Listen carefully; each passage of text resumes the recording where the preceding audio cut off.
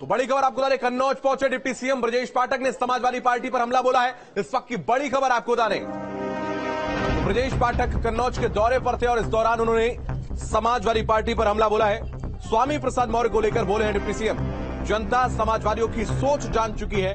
UP अब विकास के रास्ते पर सबसे आगे चल रहा है।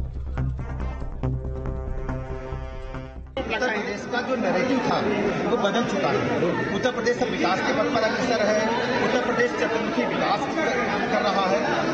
सबसे सर्वाधिक एक्सप्रेसवेज है, बिजली लोगों को मिल रही है, स्वास्थ्य सेवाएँ उच्च कोट की है, शिक्षा व्यवस्था अच्छी है, और इसके अलावा विभिन्न क्षेत्रों में काम हो रहा है। आर्थिक मोर्चे पर हम शीघ्र नंबर एक पर आ जाएँगे। लेकिन जो विपक्ष है वो नेरेटिव बदल करके, वो जाति, धर्म के आधार पर, इसके अलावा वि- सामाजिक विद्वेश की भावना लोगों में फैलाने का काम कर रहे हैं। जबकि भारतीय जनता पार्टी की सरकार आदरणीय मोदी जी के नेतृत्व में आदरणीय योगी जी के मार्गदर्शन में बेहतर से बेहतर काम कर रही है और लोगों का आशीर्वाद लगातार भारतीय जनता पार्टी को बढ़ रहा है।